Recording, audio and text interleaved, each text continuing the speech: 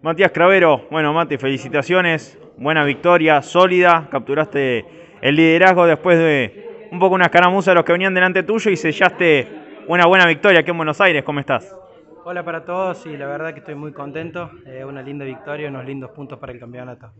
Bueno Matías, contanos cómo fue tu carrera, sobre todo por la, por la condición de pista, ¿no? Mucho viento, eh, un día muy muy fresco que se puso ahora por la tarde con la caída del sol. Sí, sí, aparte de estar muy frío y que la goma se enfriaba bastante, el agua que no, no ayudaba para nada, eh, pero bueno, en este caso me favoreció un poco para, para, poder tomar la punta de la carrera y después mantener la diferencia. Contanos cómo fue ir buscando los límites en la pista teniendo en cuenta eh, este factor que no es para nada menor.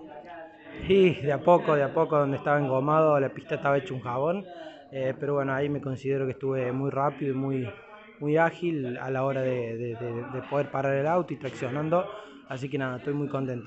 ¿Cómo era la comunicación del equipo pensando en tu ritmo y los que venían detrás tuyo que un poco se peleaban por posición y eso te permitió también generar diferencia? Sí, sí, ellos me dejaban hacer lo que me pareciera a mí, nada más que me iban cantando el tiempo de mis rivales contra el tiempo mío y, y nada, que hiciera lo que pudiera sin irme de la pista, ¿no? Una última vuelta para hacerla tranquila.